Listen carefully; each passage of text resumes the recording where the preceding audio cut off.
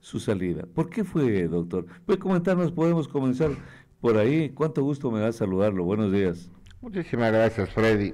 Mira, Freddy, Loja ha sido testigo ya en 15 meses de lo que ocurre en el Cabildo Lojano.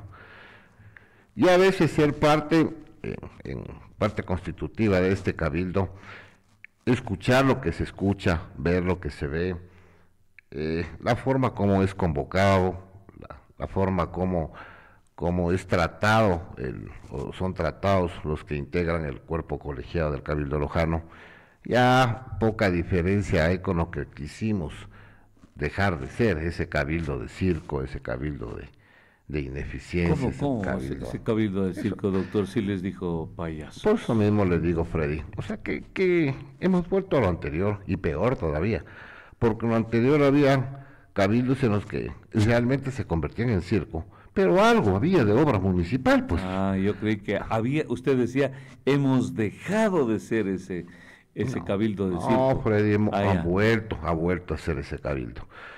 Yo cogí unas palabras suyas en esa sesión para hacerle notar a los compañeros miembros de este cuerpo colegiado, como usted lo suele decir aquí, es uno de los periodistas con más sintonía a nivel de la provincia de Loja y usted acostumbra mencionar cuando un funcionario público eh, percibe una remuneración y no entrega a la ciudadanía una compensación por esa remuneración, se han comido una bodega de arroz, suele decirlo.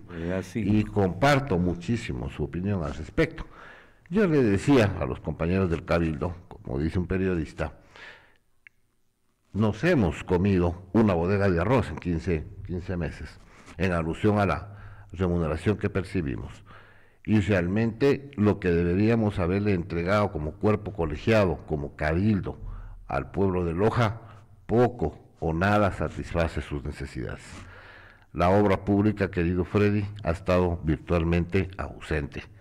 Los procesos de fiscalización, salvas, excepciones, que hemos procurado como comisión ponerle todo nuestro mejor empeño, casi el cabildo en pleno no ha hecho nada.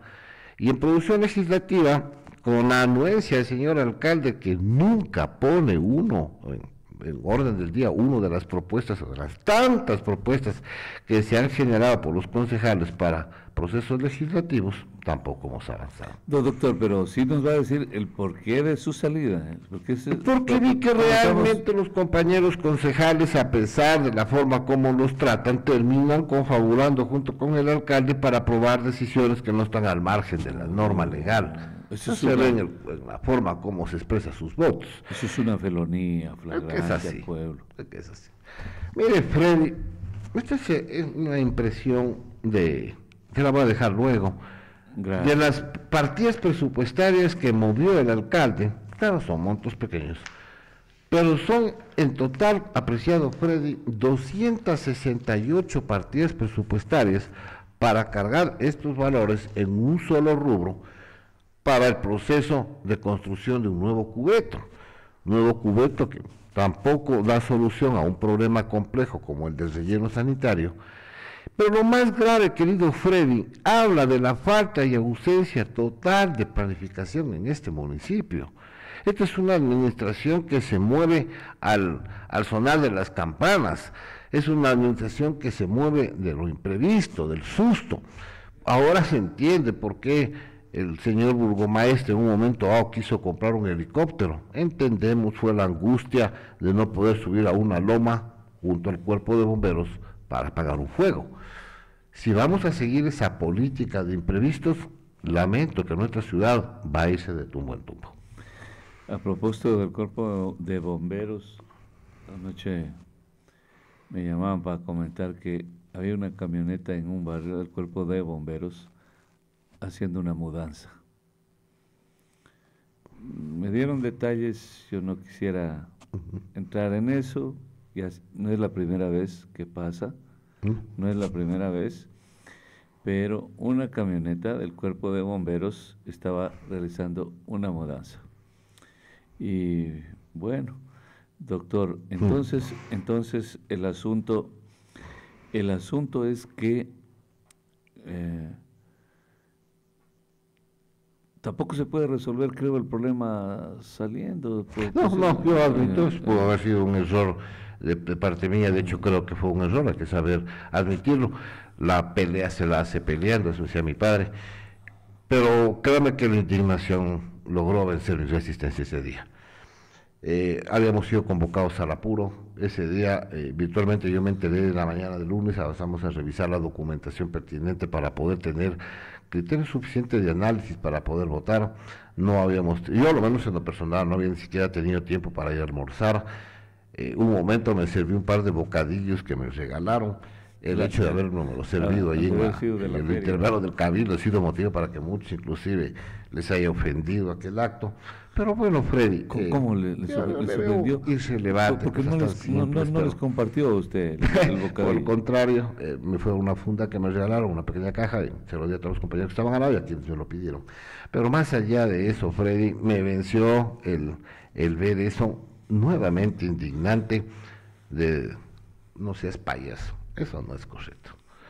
el, el, foro, el, el área del debate podrá ser completamente contradictorio en los criterios que tengamos. Y hay que aprender a ser tolerantes. Y, además así debe ser. Así, es que es lo lógico. Es la naturaleza. Es lo lógico, es el punto del debate. El cabildo es el centro. Si no hubiera debate en el cabildo, no habría razón de existir. Por eso el cabildo, de cabildeo, de conversar, de hablar, de hablar. y se supone que él vivió esa experiencia. Ya no es un novato. O sea, es volverlo a hacer circo al cabildo. No podemos, Freddy, permitir eso. No podemos. Yo creo que hay, cosas en las que a veces la ausencia tiene que ser el premio. Él tiene que entender, el señor alcalde, de que no siempre va a tener la razón y que no siempre la tiene a la razón. Bueno, el doctor Iván Ludeña ayer lo expuso de manera muy eh, didáctica y además muy técnica, porque hablaba de, de valores que fueron restados a otras dependencias pues, municipales para poder completar estos 268 dependencias. 268. Para ser exacto, 268. en un caso. Imagínese, doctor, entonces la lectura suya es la que nos interesa también saber porque es que yo, yo, puedo pensar cualquier cosa, aquí todos pensamos, pero no sirve de nada. Pero en cambio usted sí es un representante del pueblo, es un legislador. Es que a eso voy, querido Freddy.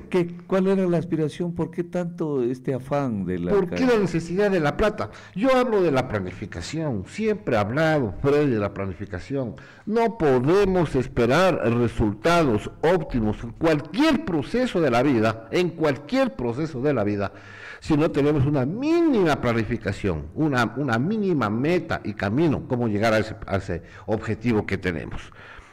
En el caso del municipio de Loja, toda la planificación que efectúan, que se traduce en norma presupuestaria, la echan a la vuelta de la esquina al cesto de la basura. Entonces, así no podemos caminar a ninguna parte. Mira, es tan grave lo que se denunció ese día en el Cabildo. Pero hay que entender la magnitud de la gravedad.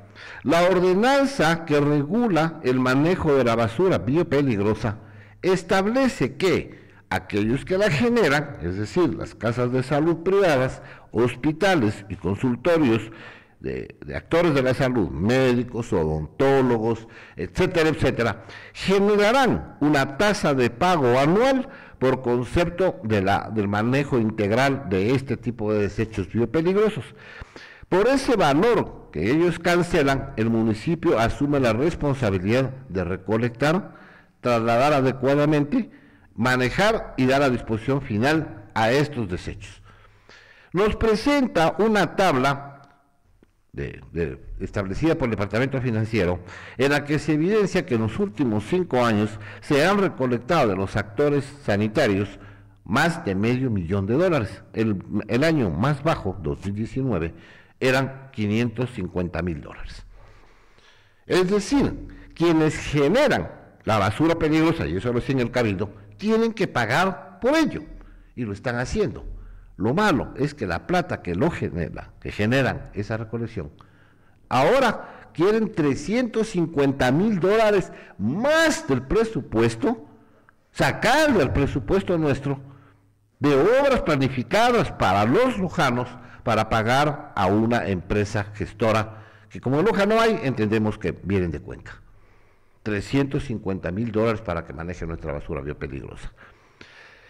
Hemos estado seis años, llevamos 15, 15 meses nosotros de gestión y no hay un solo plan que permita tomar, verás que pagando a este gestor particular 350 nos sobrarían 150 mil dólares anuales para este procedimiento de, por el procedimiento de regulación de basuras.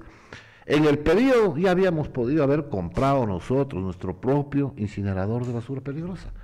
No tenemos incinerador, tenemos que pagarle 350 mil dólares a una empresa cuencana, los que la producen pagan y esa plata se distrae en otros objetivos y sacamos de obra pública 350 mil, menos de obra pública de la ciudadanía, para este objetivo. Entonces la planificación. ¿Y dónde está la fiscalización? Es que para poder fiscalizar esta cuestión, Freddy, nosotros tenemos que arrumbar de acá todos los actores a todo el manejo de presupuestario de cuatro años.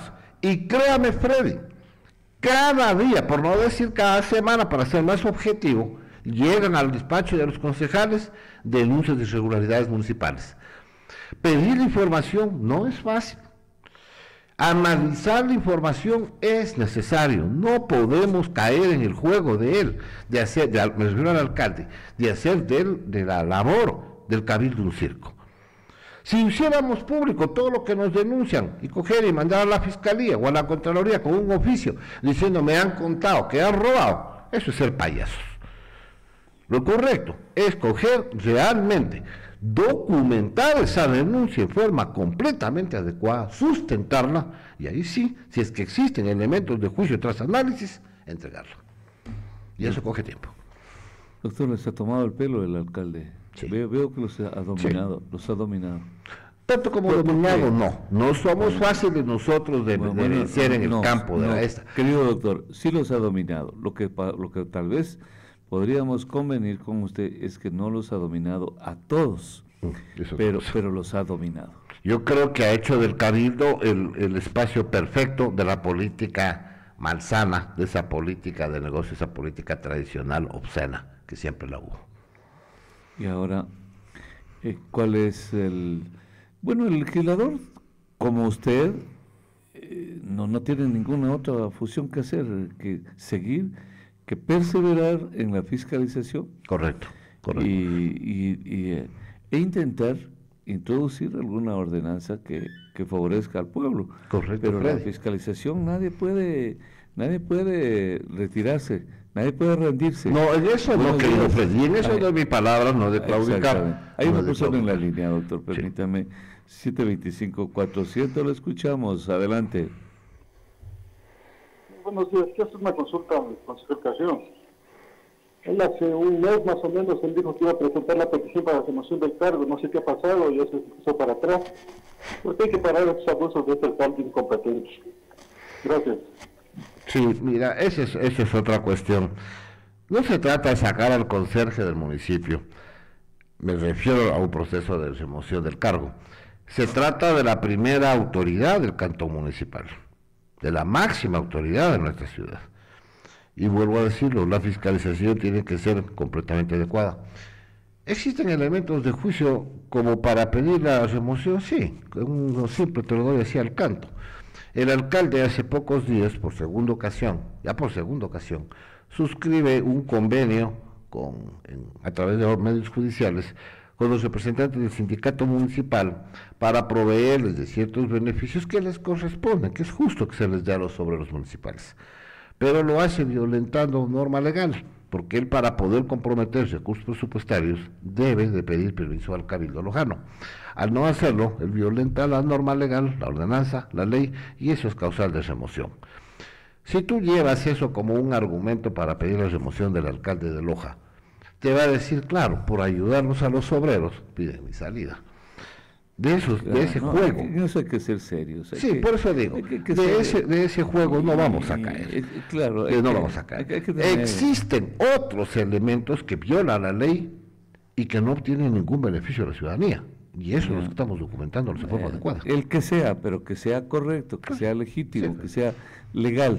Así te lo estoy diciendo. Le dicen en este mensaje, doctor, dado que Loja no ha logrado resolver problemas como la gestión de la basura, la contaminación de los ríos el caos en el tránsito, la falta de servicios eficientes y la ausencia de políticas públicas con visión a futuro y estrategias adecuadas, ¿no sería más sensato que todos los responsables consideren renunciar? Buenos días, 725-400, le escuchamos. Adelante. Buenos días, Freddy. Gonzalo Piña le saluda al concejal Carrión. Buenos días. Buenos días, don Gonzalo. Ayer había hecho una denuncia y continúo en la mía. Tal vez eh, sea cansino, ¿no? Pero cuando las obras no se hacen bien, más vale prevenir que lamentar. Y a usted, concejal, también lo invito para que vaya arriba al, al, mercado del pequeño productor, como se lo conoce, de esa manera, aunque es de otro, otro nombre, y que se dé una vueltita y vea la manera y la forma como se está haciendo el trabajo de asfaltado de esas calles, de esas vías. Ayer se empezó a hacer la imprimación, es decir, a poner ya la carpeta asfáltica. Cuando no hay, no sabemos si el super eficiente director de Humapal, el superdirector de obras públicas, el super eh, fiscalizador han tomado cartas en el asunto para que la empresa encargada de preparar el terreno está cumpliendo con los requisitos técnicos, no lo que uno quiere, sino los requisitos técnicos. Y un ciudadano ayer también llamó a decir algo parecido sobre lo que nosotros hemos denunciado. Y a propósito, concejal, entérese por ahí sobre una acción de protección presentada por un ciudadano de la tercera edad en contra del director de la UMAPAL. Le han suspendido el servicio por falta de pago, pero hay algunos justificativos que no han sido tomados en cuenta por estos que dicen y alardean que Dios está con ellos y Dios y que los pobres y a los pobres les dan garrote. Entérese, y si quiere yo le envío la acción de protección, que la tengo en mi poder, para que también fiscalice lo que este súper eficiente director de Humapal está haciendo en el municipio. Buenos días. Doctor Freddy, al respecto quisiera hacer tres comentarios. Tomar como base las llamadas de los ciudadanos. Eh, de lo que respecta a la, a la denuncia presentada en este momento, o, el informe de denuncia que dará por el periodista Piña Burneo, del pequeño productor voy a ver de qué se trata. Porque lo que fue competencia de la empresa Cimar en el barrio de Las Pitas, eh, ya está liquidado ese problema y entiendo que al fin va a dar por terminado unilateralmente el contrato del alcalde para llamar a una empresa cuencana, según lo ha manifestado, culmine esas obras. En lo que respecta al proceso de Mapal, hemos tenido no uno, múltiples problemas con el UMAPAL. Abuso de derecho, aparentemente sí lo digo. Me habla él de una acción de protección de un adulto mayor. Pues vamos a averiguar aquello. Una cosa que sí preocupa es lo que estábamos haciendo, para eso voy Freddy, que hay que cambiar. Usted me dice la legislación, Pablo, puede quedar a un lado, pero la fiscalización tiene que ser constante. sí, pero van de la mano, querido Freddy. No, no pero es... Bueno, más o menos. Démosle más prioridad a una que otra, no. En, orden de preeminencia, es, es, verdad. Buenos días, doctor, ah, perdóneme, no, no, no, no, se pierda de su razonamiento. Pero hay una persona en la línea 725-400. Buenos días, le escuchamos. Adelante. Doctor, buenos días. John Granda Quesada le saluda, morador del Rosal. Preguntarle al señor concejal, ¿qué acciones se han tomado para, para solucionar el problema que tenemos en la ciudadela del Rosal, que se fueron llevando el asfalto y vivimos en una completa polvareda? Ya ha pasado mucho tiempo y no encontramos soluciones. Muy amable, doctor, un buen día. Muchas gracias, señor Granda Ahora, doctor, con eh, gusto. Si, está que con, con puede concluir exactamente, pero sin prescindir de responder a, lo que a los ciudadanos, es lo más importante. Pues, para que tomen nota de, de hecho, por esto estoy. Haga atención a lo que decía el licenciado Piña Borneo. Es verdad, hemos tenido problemas serios a nivel de la UMAPAL por abusos aparente autoridad. El Cabildo comete un error constante cuando otorga permisos para estas eh, servidumbres de paso que existen. La norma legal, el Código Civil, establece que esto se tendrá que producir entre el beneficiario de la servidumbre y el afectado de la servidumbre. El cabildo no entra, el cabildo entra cuando la servidumbre es emitida, es construida, es dada por la institución municipal. Buenos días, doctor. Permítame, 725-400, le escuchamos. Adelante. Doctor Freddy, un cordial saludo a usted de igual manera con el respeto que se merece al señor concejal. Señor concejal, por favor, soy un, soy un oyente siempre de las noticias de cualquier mérito. Usted en Radio Satelital dijo, y al decir que usted iba el jueves de la semana o hace 15 días a poner en mesa en la otra sesión la remoción del alcalde. Un señor le preguntó ya este caso y usted evade. No se burle de nosotros el pueblo, el pueblo le está escuchando. Si usted da una palabra, usted dijo, entonces cúmplalo, señor concejal, no se burle de los ecuatorianos, los lojanos, no somos burla de usted, yo les respeto, pero cumpla la palabra, dijo yo el jueves a la primera sesión que ahí le pongo la remoción y usted va de, va de, va de. No, es, que, es, que, es, que ese no es el, que no el procedimiento. Correcto. No, no creo que funcione así tampoco, doctor. Verá, verá querido Freddy. Primero quiero ir en orden para no, por favor, porque si no voy a hacer un chagrillo, como se suele decir las cosas. Cerramos las llamadas. Correcto. Cerramos las llamadas. Gracias. Ya. Con lo de Humapal. En lo de Humapal, para poder dar atención a una demanda de un adulto mayor al que se le quería poner una servidumbre de aguas servidas, y él argumentaba que su única propiedad, que no es justo, porque no tenía razón de ser esta servidumbre, el informe que nos presentaron en el Cabildo por parte del AUMAPAL y sus técnicos daba cuenta de que tenía que evacuarse las aguas servidas de unos servicios sanitarios y unas captaciones de agua lluvia.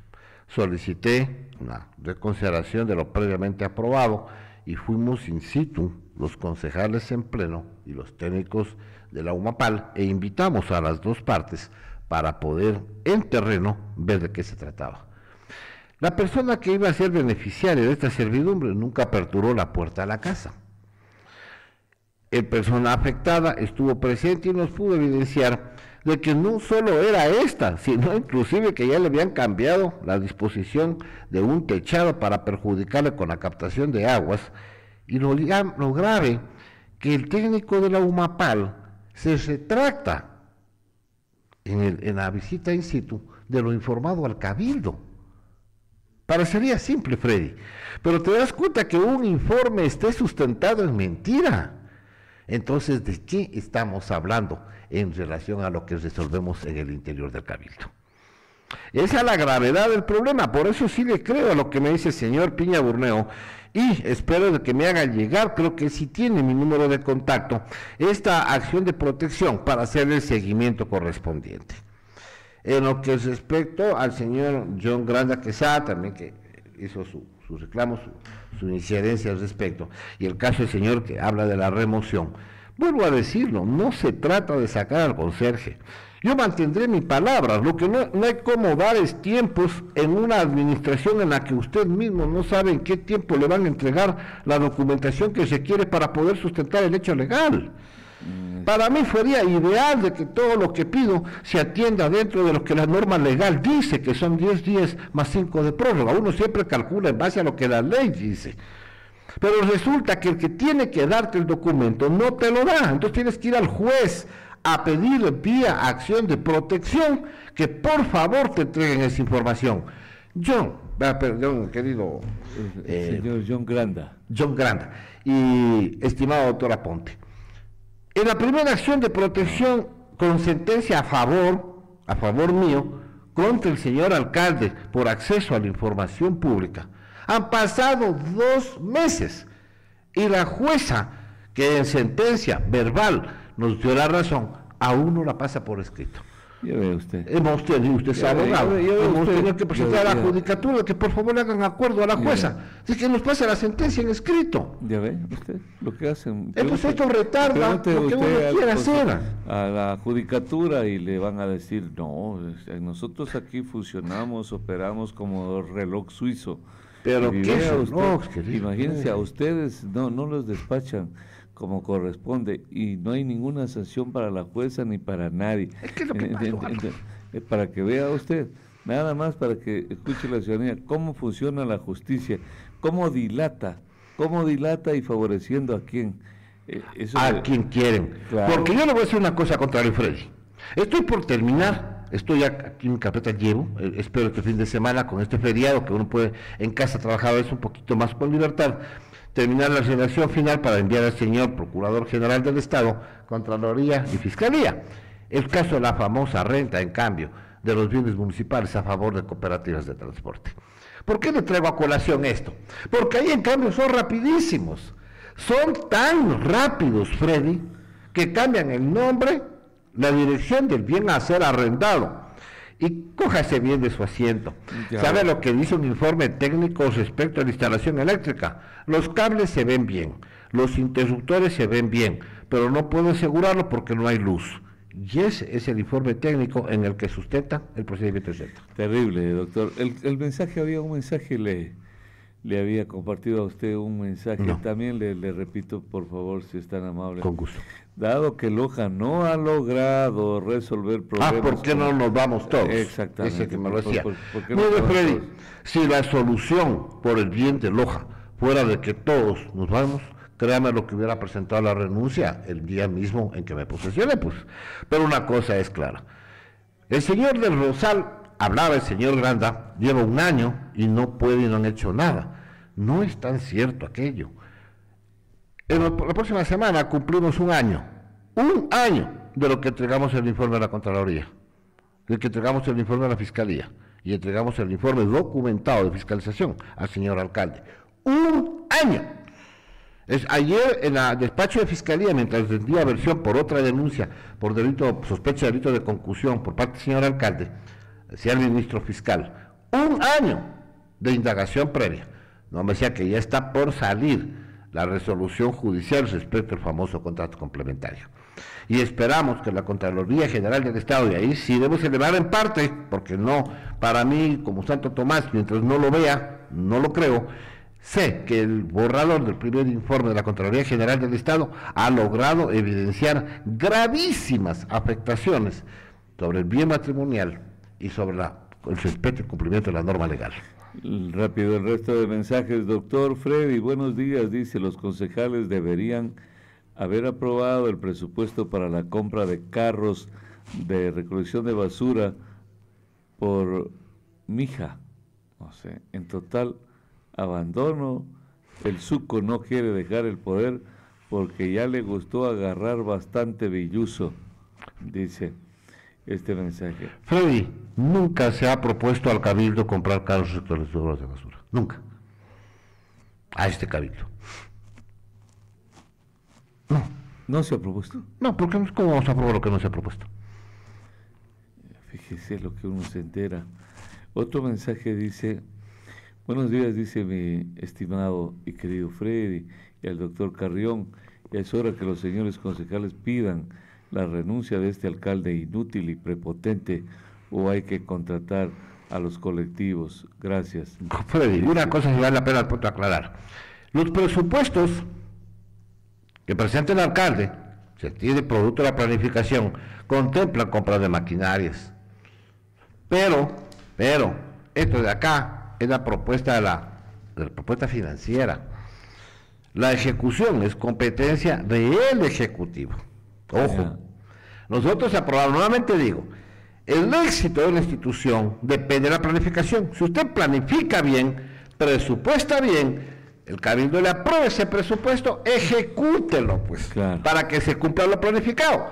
Pero si en el camino se tumba 268 partidas para algo no planificado, pero sí conocido, quiere decir que usted no pudo planificar y está haciendo pedazos. me, va, a dejar aquí con un montón de mensajes, ya, ya, es hora de, mm. de partir.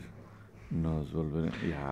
Buenos días, dice Fred. Pregúntele al concejal ¿Cómo está la fiscalización de las anomalías en el cisne?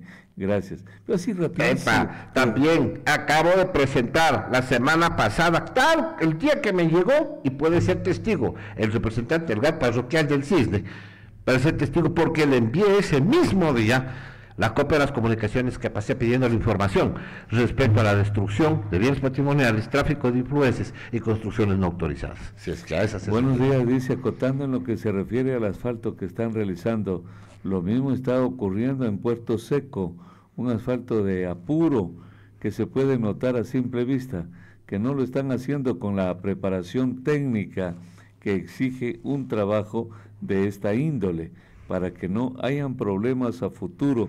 Parece que están haciendo prácticas de asfalto. Buen día, reservar mi nombre. ¿Cómo le voy a reservar si no me lo dice? Eh, ya, pues sea, sea seria también. Esta, guapa mujer que está ahí en el perfil, dice, reserve mi nombre, pues si no me lo ha dicho. Buen día, dice, señor el señor Piña se refería al asfalto del mal llamado Puerto Seco, justo, ya ves, estamos, estamos en esa onda, ¿no? Ya, eso. Este, todos. Eh, sí, porque el de acá abajo corresponde a la empresa CIMAR, por eso me preocupado. lamentos y más lamentos, hay que contribuir con nuestros impuestos para pagarle, para pagarles a estos señores.